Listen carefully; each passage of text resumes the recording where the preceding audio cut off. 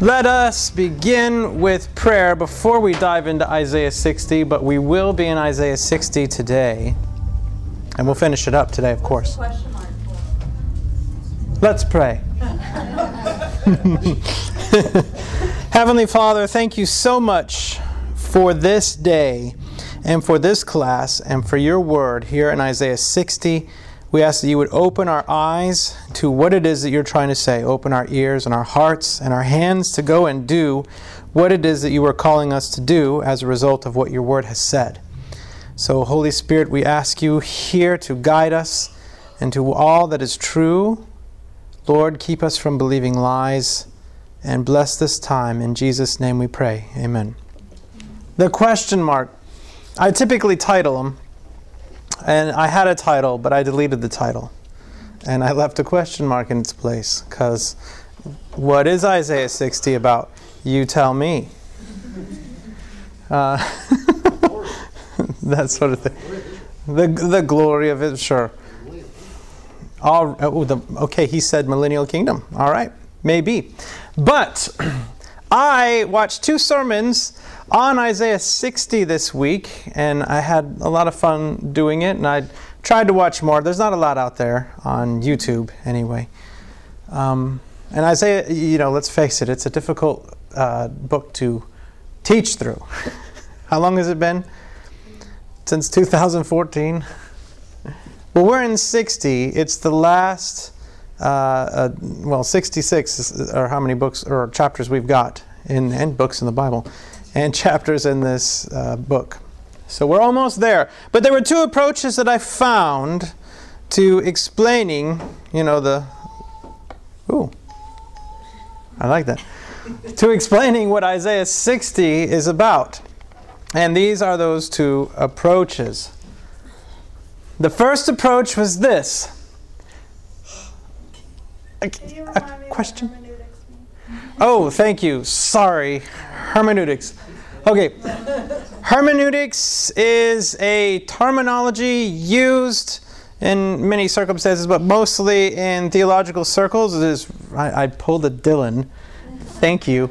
Uh, and I knew it when I wrote it. It is that, like the art and science of understanding and interpreting Scripture. That is hermeneutics. So, hermeneutics is simply when you're coming to God's Word how can you understand it? What methodology are you going to take in order to understand God's Word? And so I've got two different approaches that I observed. The first was the Holy Spirit will reveal to you what it really means. So just pray and see. That was the first approach.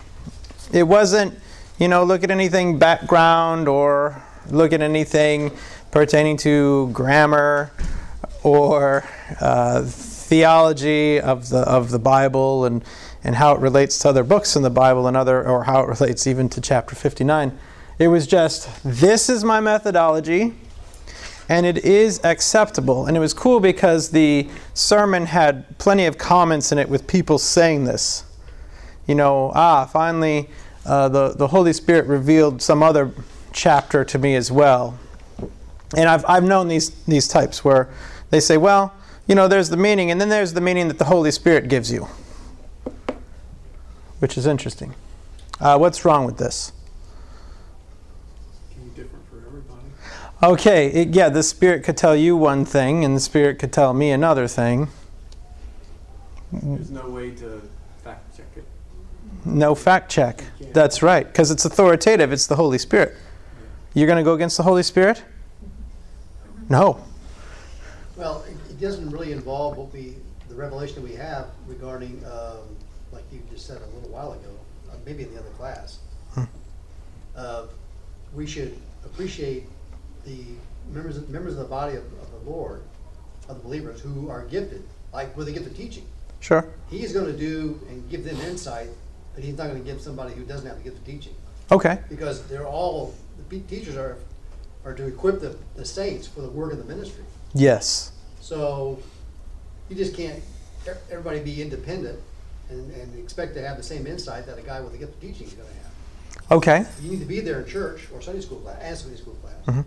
to benefit from a person who is gifted, so that they can build you up and, and you know and pull all this information together and all research and study.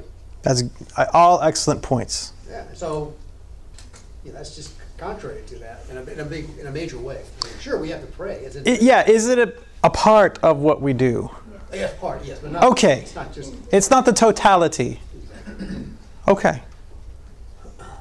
Yes? Matt? Sometimes when, when you pray and ask, you don't get an answer, and it's not clear. I like that a lot. Very good. Peter was like that. Some things are hard to understand that Paul wrote. yeah, that's right. Wow. Um, sometimes it's difficult to distinguish between your own thoughts and opinions and, you know, Ooh. is this God telling you this or is this yeah. this? This is massive difficulty. And, and the interesting thing is, this kind of thought started to enter the church in the late 200s, and then it, it kind of had different schools of thought around it. And everything in Scripture started to become an allegory, and it meant something else. And then you had all these teachers who were saying that uh, they were looking at, say, the, the uh, parable of the widow's mite, and, and saying that it, it was really talking about Peter and Paul and, and trying to divine all these interesting applications and creating new kind of doctrine and all that kind of stuff. And there's infinite number of, of interpretations, interpretations, uh, your science and art of interpreting Scripture. Uh, and, and so therefore now everything was meaningless except for whatever the particular teacher at that time said, this is what it means. Yes, sir. Remember what Pastor said this morning in the sermon? Like, uh, all my problems are because I haven't really believed all the promises of God. Hmm. Remember that in the sermon? Okay. Well, I mean, the point is that I'm trying to make is that a lot of the problems we have, as far as like in hermeneutics, is like because we haven't really read the whole Bible Yes. and, and done you know some systematic theology where we're bringing in all these cross references. Yeah. Yeah. Yeah, And that, that is all very important. So, what about this other approach? Take a word in the passage and find out where else it was used in the Bible, and then teach all the passages that you drew it from, and then push that meaning into the passage that you originally took it from.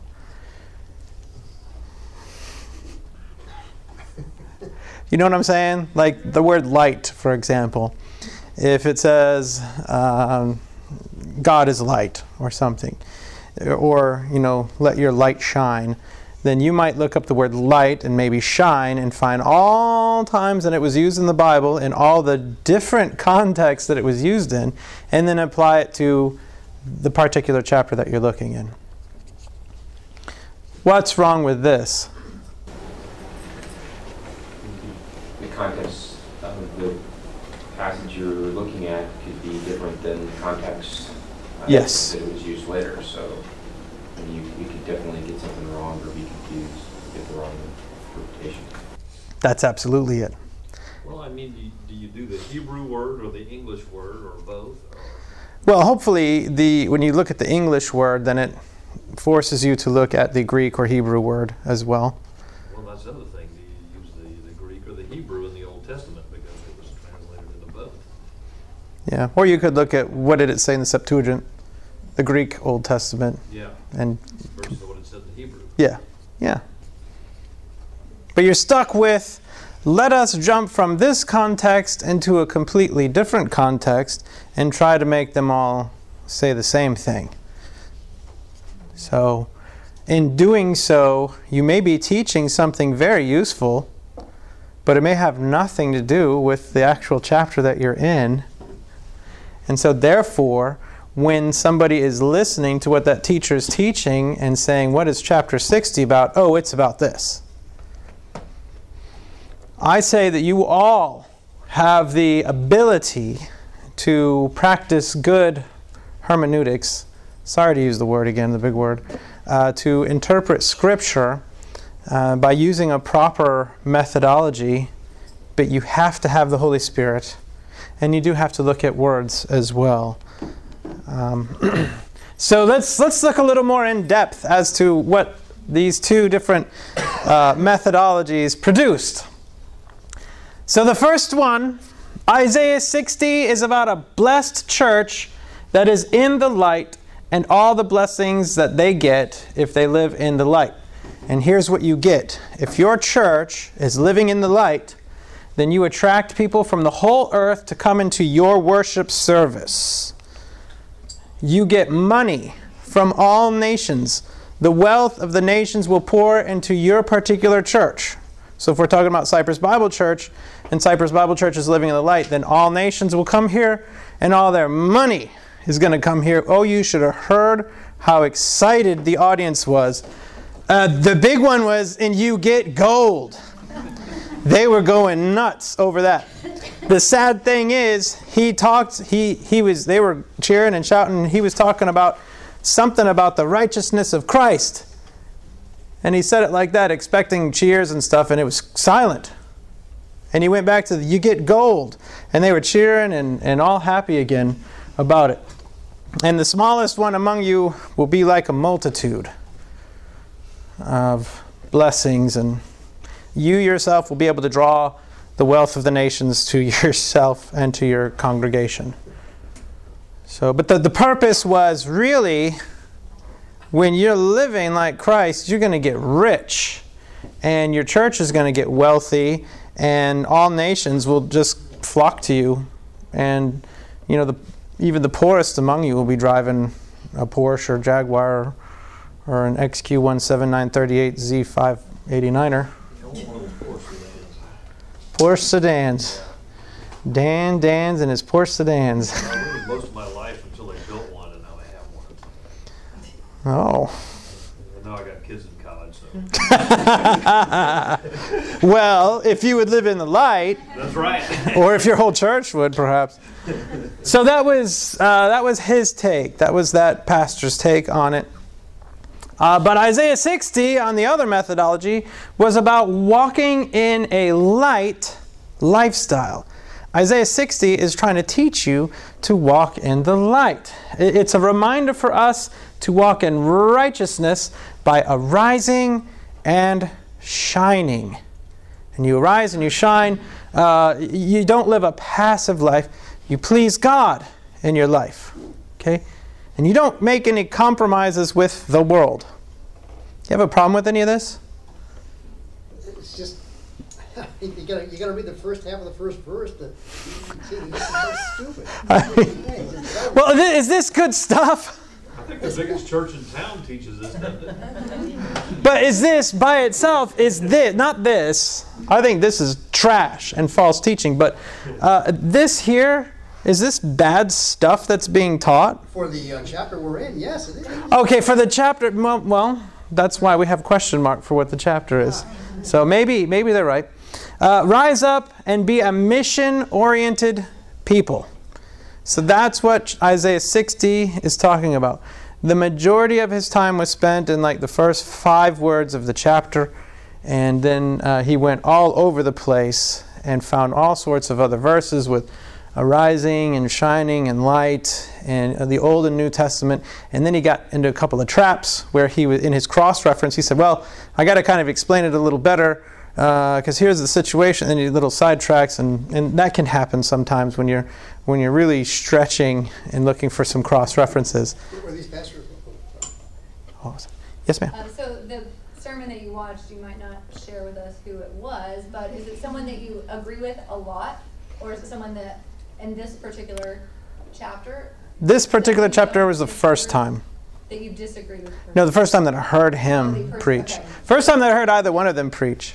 You don't really know his theological background. Are are they from here, right, in Houston? No, no. I'll have a picture of both of them later.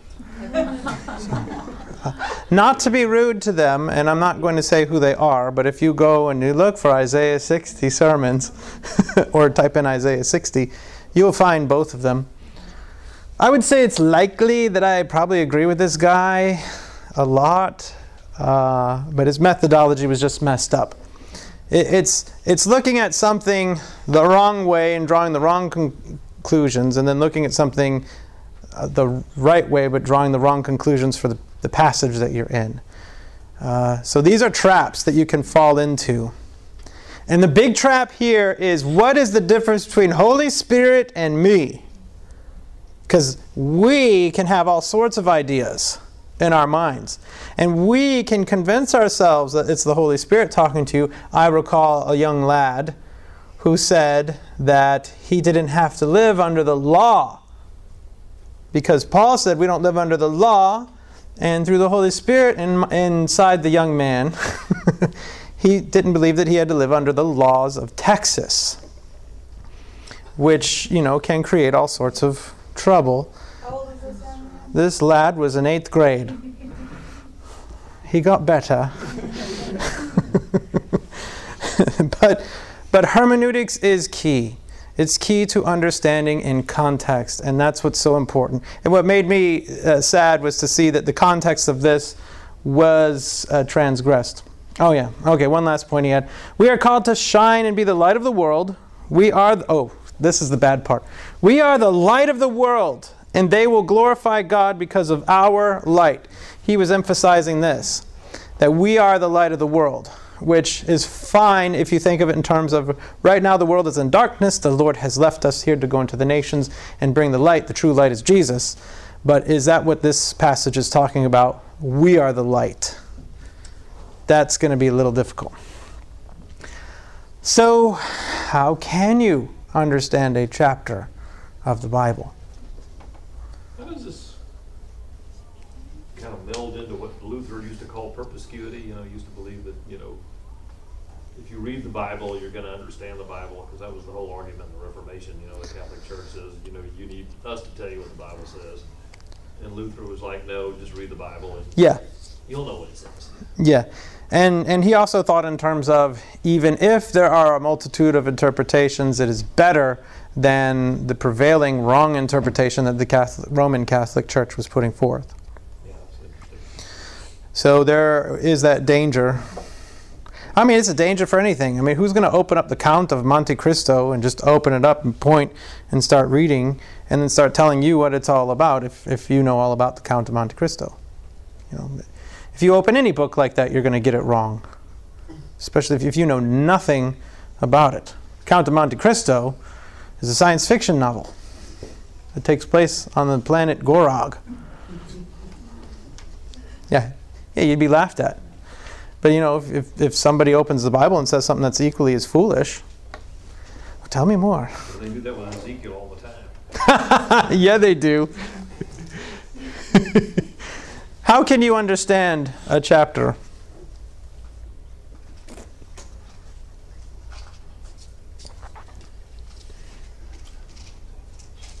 All right, that's okay.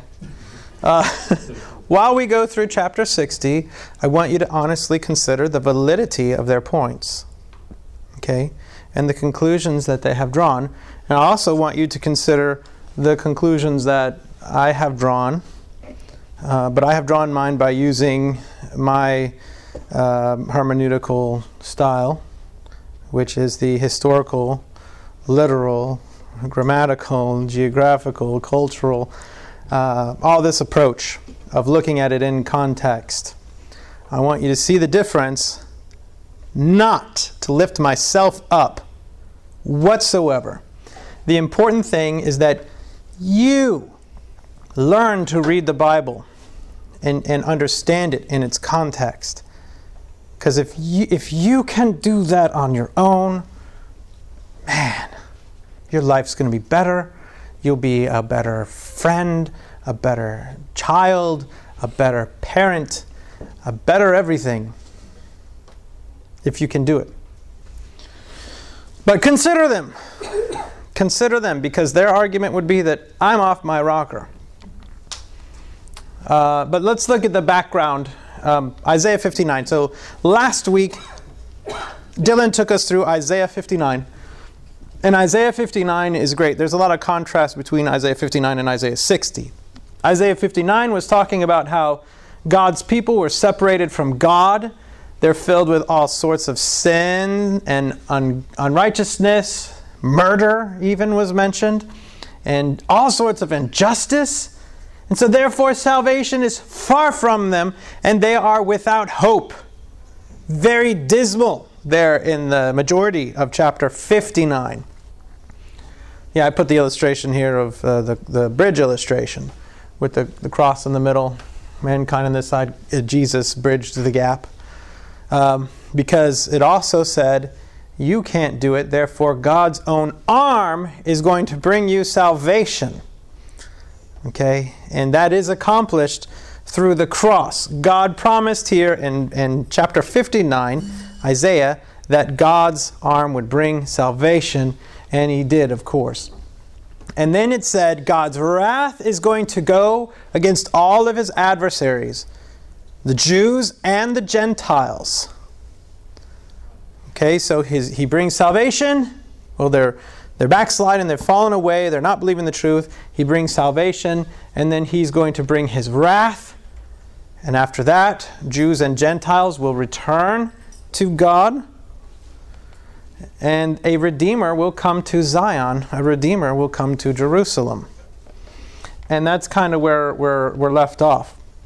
Uh, believers will then have God's word in their mouths. Oh, yeah, this, this was uh, the new covenant.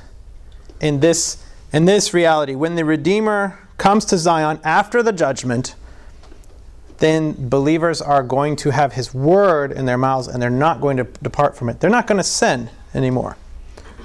Okay? So this is where 59 left us off. So then you might expect 60 to be building on what 59 said, right? And probably not talking about how your church can make a lot of money or how that you should correct the way that you act when it says that you're going to be corrected. Um, so here's a sequence of events Judah falls into evil and false teaching, wickedness, all that kind of stuff. Uh, the Messiah comes and works salvation for all who believes. God comes and saves them. God exercises judgment. After judgment, the Messiah comes to Zion uh, which this very much is kind of like end time stuff we're talking about. Uh, he brings salvation, then there's judgment. After judgment, he comes to Zion. The Redeemer comes to Zion. Okay? And then after, after the judgment, after this, the believers are perfected. This is what 59 is talking about. So, uh, 60 you are right in saying it has, uh, has a lot to do with the millennial reign of the Messiah, the millennial reign of Christ. So, to, in order to understand this a little better, you have to look to see what was their expectation of the millennium in, uh, in the Old Testament. What were the Jews expecting? What did the Bible have to say about it? I've probably taken you many times, if you recall, to Genesis 49, uh, verse 10, uh, which, which talks about when, when Jacob is giving a blessing to Judah, his fourth born son, and says that he will be the leader, but he makes a promise and says, From you, though, will come the one to whom the real leadership belongs, and to him will be the obedience of all nations. So, this is saying the Messiah will come from Judah's line and he will rule all nations, not just the 12 tribes, not just the Jews, and not just the Israelites, but the Gentiles as well. And the Messiah will, and in Psalm 2 and Isaiah 11, it talks about how the Messiah will reign all nations from Zion. So, all of this that we've been looking at in Isaiah 59 is meeting the requirements of what has already been spoken of previously in God's Word. All nations will follow the Messiah. All God's people will return to Jerusalem in the millennial reign. This is their expectation. Okay, from just from Genesis 49, Psalm 2, Isaiah 11. Isaiah 2, 1 through 4 said in the future, all nations will come to the Lord's mountain at Jerusalem. So there's an expectation that not just will they return, the righteous remnant return, but all the earth will come to Jerusalem. And Jerusalem will be the center of the world, and Jerusalem then will be glorious. And that's Isaiah 2 1 through 4. And that's the start of Isaiah. Well, that is similar to what we're reading, we're going to read about in Isaiah 60. So therefore, you have to use that to help interpret. What a coincidence. Uh, Jeremiah 23, 5 through 8, 31, 31 through 40. All nations will follow the branch of Jesse, which was also spoken of in Isaiah 11 as well. Ezekiel 37 says David will rule over Jerusalem forever because God made promises to the line of David that one would come from him who would reign forever. Here, it's using the, the actual name of David. Uh, here, previously, it said the branch of Jesse, which was a reference to the Messiah. David is also a reference to the Messiah. Daniel 7 13 through 14 says that the Son of Man will rule all people. You know what else he says? They will worship him. No way are we supposed to call to worship a man, but uh, God only. Uh, Micah, the Messiah, will rule over all the world, not just uh, Jerusalem. Zechariah 14, God Himself will rule all nations in Jerusalem. Who is this Redeemer? God Himself. The Messiah's feet will stand on the Mount of Olives. Okay? Uh, and you got to understand, in Jerusalem, there's three hills. Uh, one is the Mount of Olives, and the other one is uh, Mount Moriah, and the other one is sometimes referred to as Mount Zion. But the whole thing can be thought of as Zion. But he will stand on the Mount of Olives. And the king in Jerusalem shall be worshipped by all nations. Far be it that we would actually worship David, but that we would worship the Messiah who came from the line of David.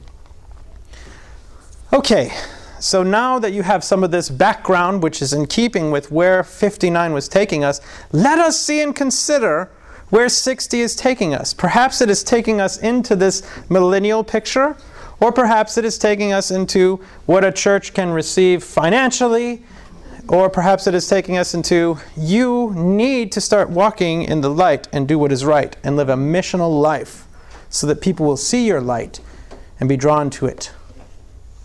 So let us consider. We'll begin verses 1 through 3.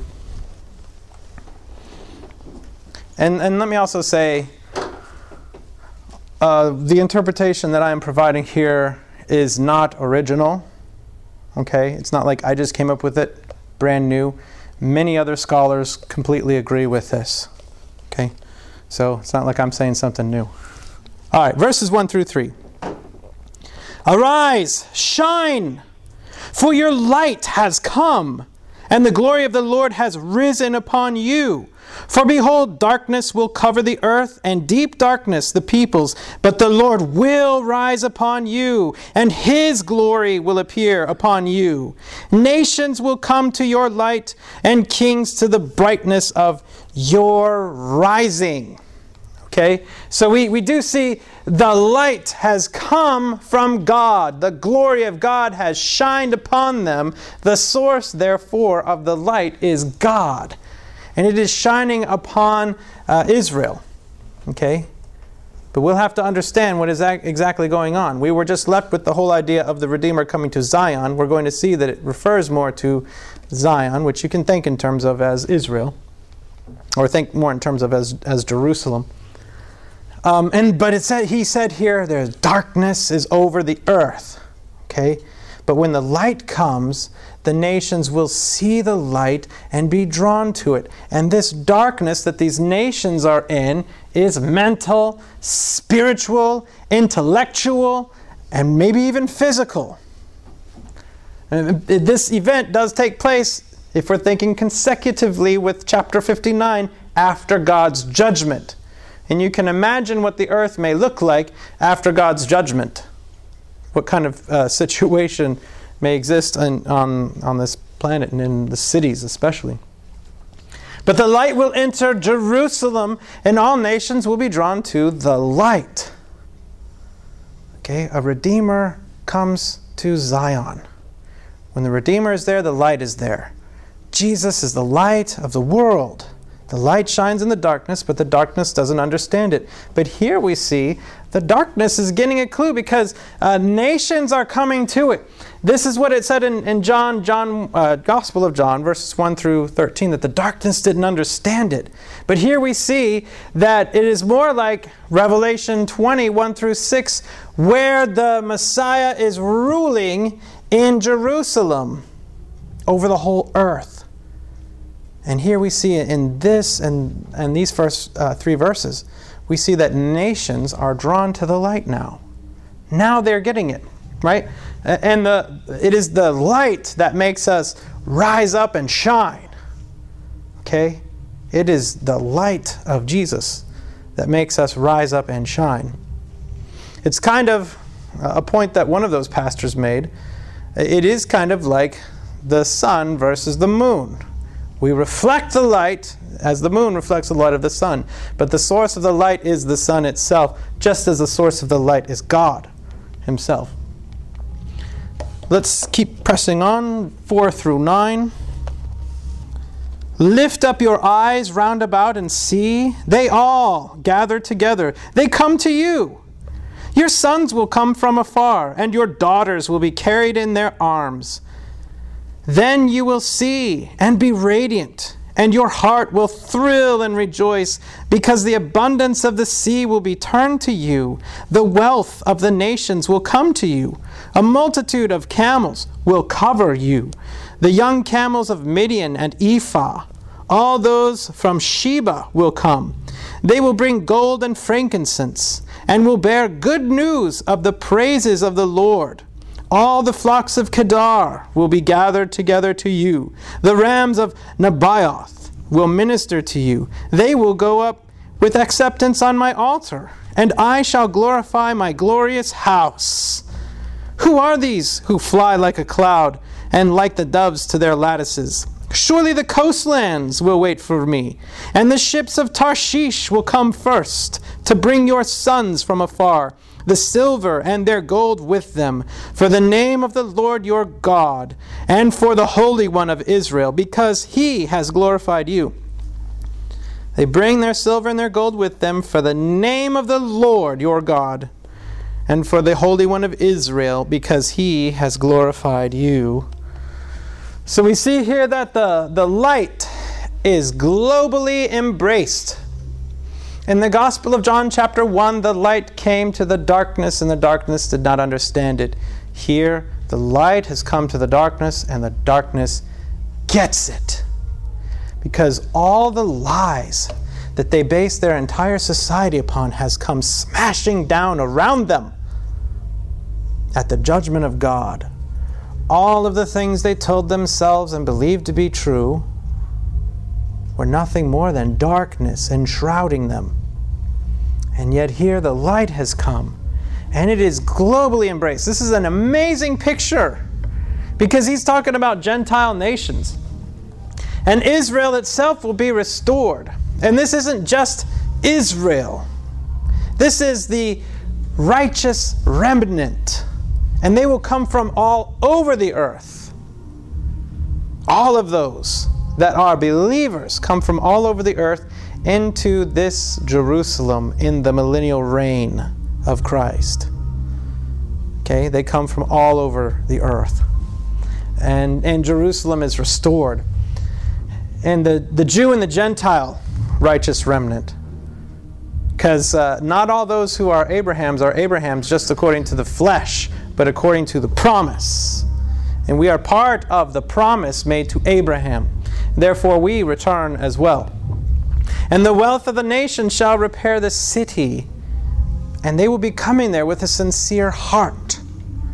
Not because it's something that they're doing out of coercion, but they now recognize the light for what it is. They recognize the truth of Christ, and they come to it to take part. Can you imagine what it must be like to live your whole life in the darkness and then come to know the light? Okay, verses. Uh, oh, yeah, we continue. That's right. Oh, yeah, this is awesome. He talks about Midian, Ephah, Sheba, Kedar, Nebaioth. This all relates to the Arabs.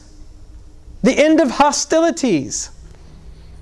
This is what this is talking about here. There's going to be an end of hostilities. They're going to come confessing the Lord.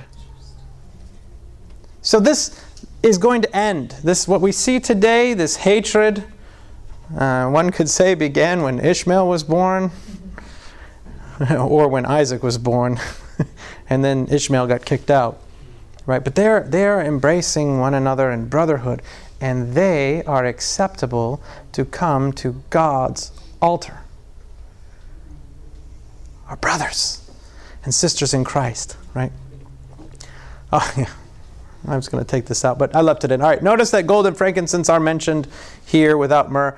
Gold and frankincense are very precious, okay? Uh, gold, of course, is very precious. Frankincense is uh, an, a resin that comes from a certain tree, and you burn it, it smells incredible. And uh, so they're, they're bringing gifts here, right? Uh, myrrh is not mentioned. Not that myrrh needed to be mentioned, but myrrh, uh, as far as the gift of the three wise men, you can think of it in terms of the gold and the frankincense as being uh, worldly riches, spiritual riches, and the myrrh for the sufferings of Christ. But the sufferings are over. So if you want to think of it in those terms, you can.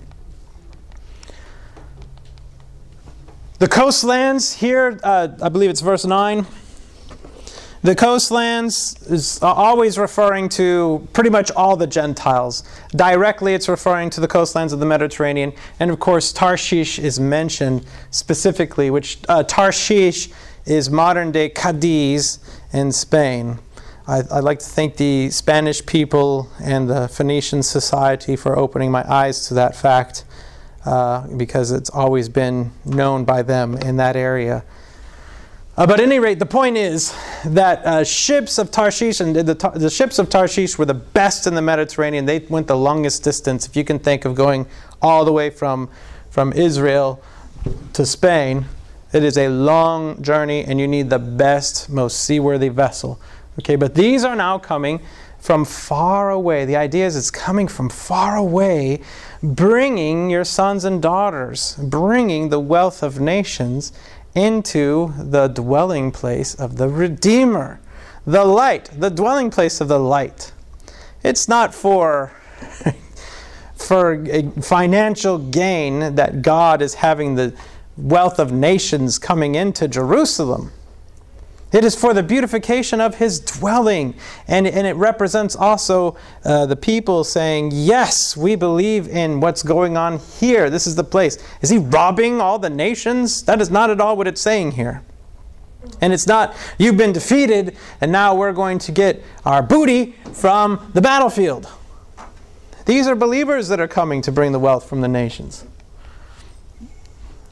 And finally, everything's going to be right uh, Jerusalem will be righteous, and the Messiah will be the rule of the world. No more uh, worrying about Putin or Kim Jong Un, Youngin, that Youngin over there.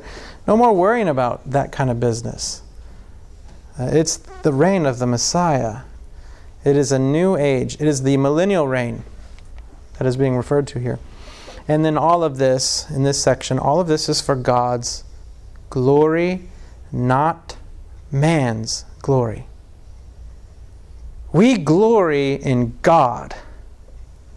I, I want Him to have the glory. I do not want me to have the glory. Do you want you to have the glory? I mean, maybe you, should be lifted on high and as the ultimate example of love and perfection. Ooh, said, get that light off me. You're gonna, you're gonna see all the spots. Let me put that cloak on me of, of Christ. And no, rather put Christ up there. All right, verses 10 through 14. Foreigners will build up your walls, and their kings will minister to you. For in my wrath I struck you. For in my wrath I struck you. I wonder how that pertains to striking a, a church. God struck a church, uh, if that's what it's talking about here.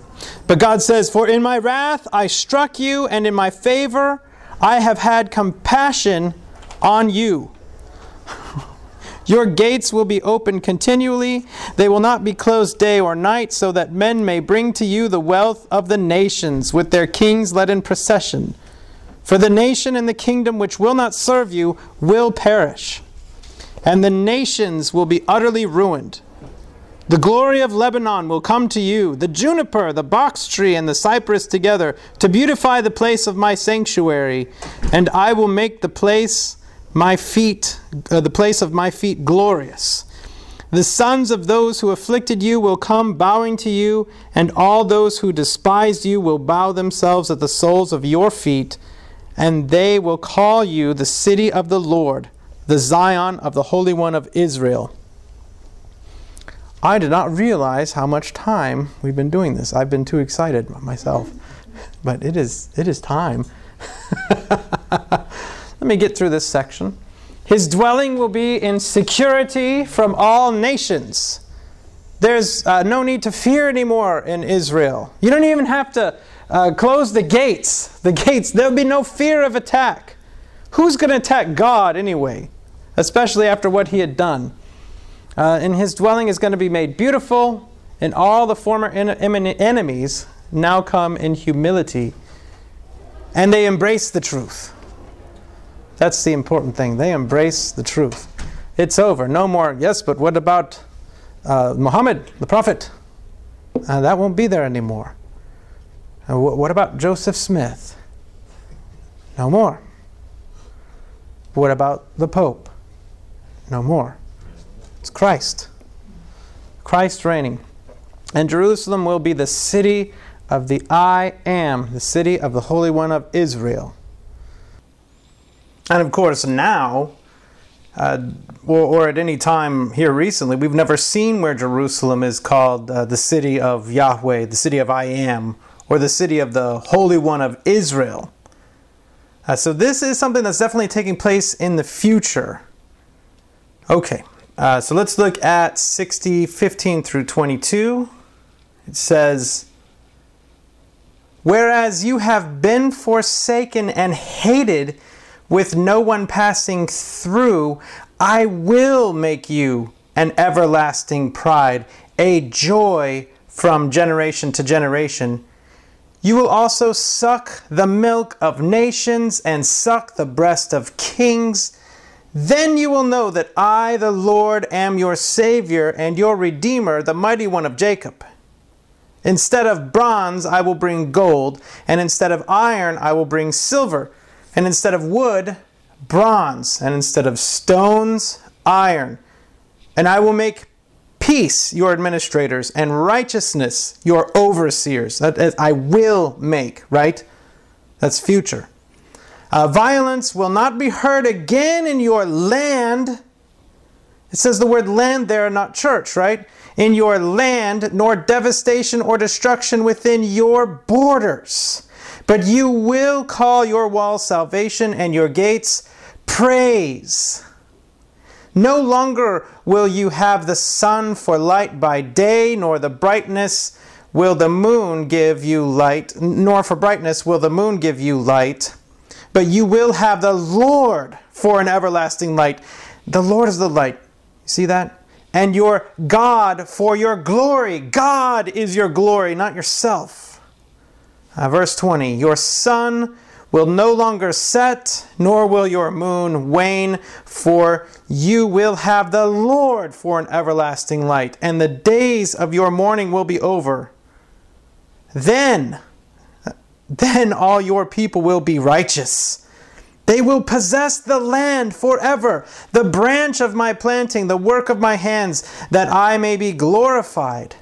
The smallest one will become a clan or will become a thousand, and the least one a mighty nation. I, the Lord, will hasten it in its time. Uh, did you see that? So they were forsaken. The time of judgment on his promised land and people has passed. They, they were forsaken. They were forsaken and hated, it says there.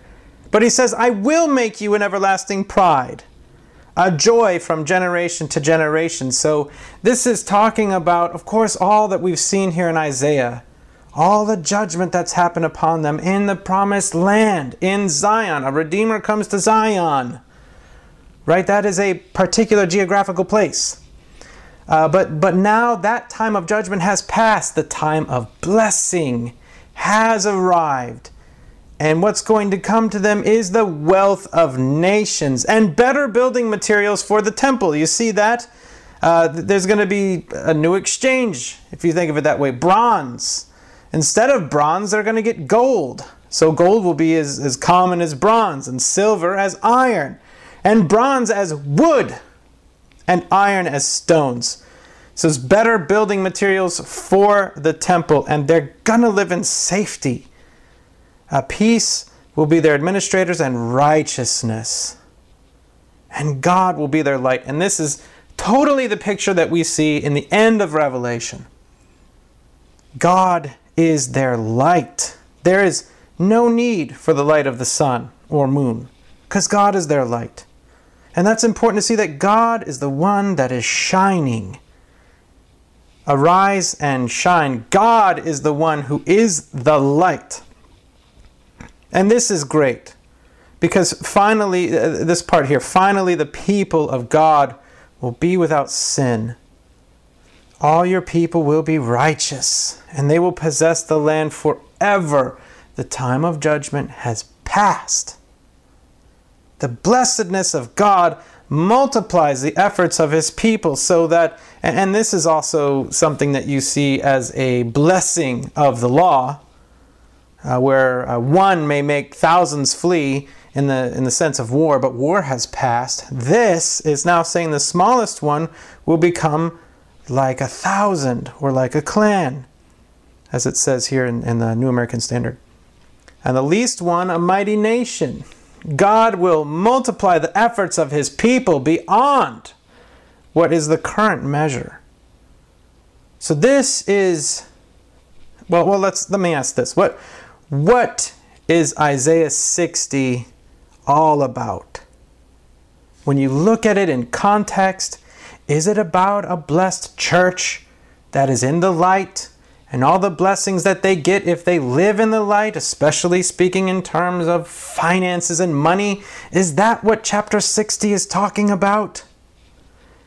Or is chapter 60 talking about walking in a light kind of lifestyle? It's, it's not, yeah, it's not talking about either of those. It is very clear when you read it in context what it is talking about. It is talking about the, the fulfillment of so many promises made to Israel, promises made to Abraham, right? Promises made to David, promises that the prophets talked about. This is a fulfillment of that time. This is the millennial reign of Christ. Okay? Um, and th- that's where you really need to work on your own hermeneutics.